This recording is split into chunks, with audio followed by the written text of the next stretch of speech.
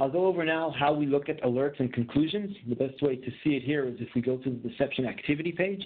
This basically covers all the uh, relevant activity that happened with the decoys. Uh, we have conclusions, alerts. You can show the assets that interacted with the decoys.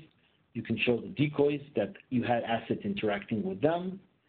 Uh, and we can also show credential accesses, meaning what credentials were used to access the decoy, which were successful, which were not. And we can also show uploaded files.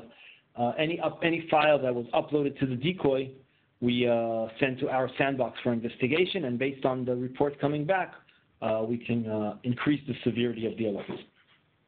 If I go into one of the uh, alerts for conclude or one of the conclusions for a decoy activity, this is the shared folder manipulation alert.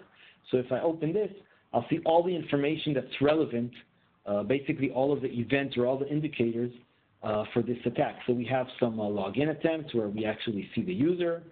Uh, we have some um, basic uh, access to the shared folder. For example, here we have uh, running domain info in order to get information about the domain on the shared folder. and we also have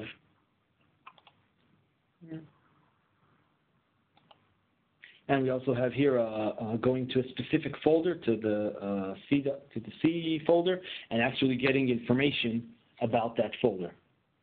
Anything that's happening on the application level with regards to the decoy is monitored in an alert that's then aggregated into a conclusion. Uh, in case of uh, uh, shared folders, it'll be which files were accessed, which were read, which were wrote.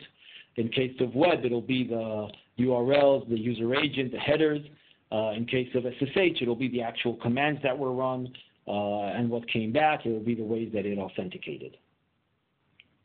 If I want to investigate deeper, I'll go to the asset page from here. This is the asset that did the attack.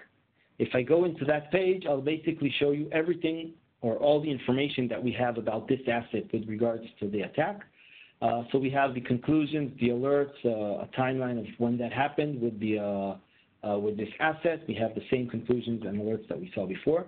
We also have all the other information about the asset based on the terrain. So we have the communication channels that this asset is using. We have information about the internal traffic, about the external traffic, the incoming traffic, uh, and also the internal traffic. In the internal traffic, uh, you'll notice there's uh, straight lines and dotted lines. The straight lines are for real traffic that happened between other assets and this asset.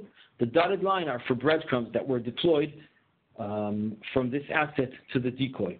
So that'll bring us to the fact that we can see this asset, who interacts with it, who this interacts with, and what path exists from this asset to any of the decoys.